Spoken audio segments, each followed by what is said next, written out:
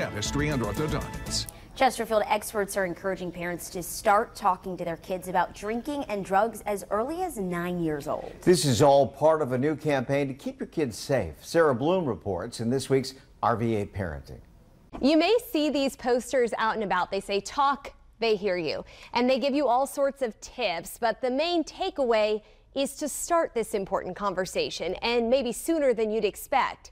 They're hard conversations, especially knowing what our kids may face. There's definitely a lot of underage use of alcohol and other drugs.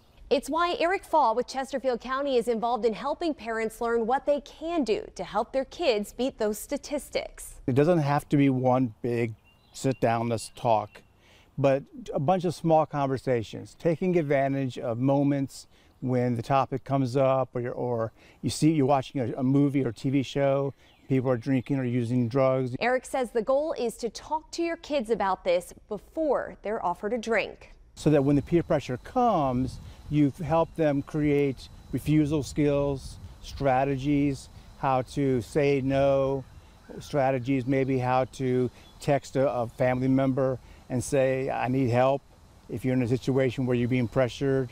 You also want to be a reliable source of information. The program focuses on five things. Show you disapprove of underage drinking, show you care about your child's happiness, show you're a good source of information, show you're paying attention and will know if your child drinks, and build skills for your child. Show them how to turn down a drink and still look cool.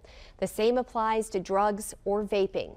Some parents may find that their kids have already tried drinking or drugs. I think you want to be as honest, uh, you know, as you can about, um, again, about the, the, dangers, about you not wanting them to use, why you don't want them to use. They're going to throw things at you like, well, it's, it's legal now, so how bad could it really be? A big thing that, that I use when I talk to teenagers is talking about the developing brain. Eric says the brain is not fully developed until you're 26 or 27 and that it's easy for the teenage brain to become addicted to alcohol or drugs. So that's one of the reasons why waiting until you're 21 is so important. Their ability to become addicted just goes way up, way up. And especially the way that they use the, the binge drinking, for example, is, it makes them more likely to become addicted to be diagnosed as alcoholic.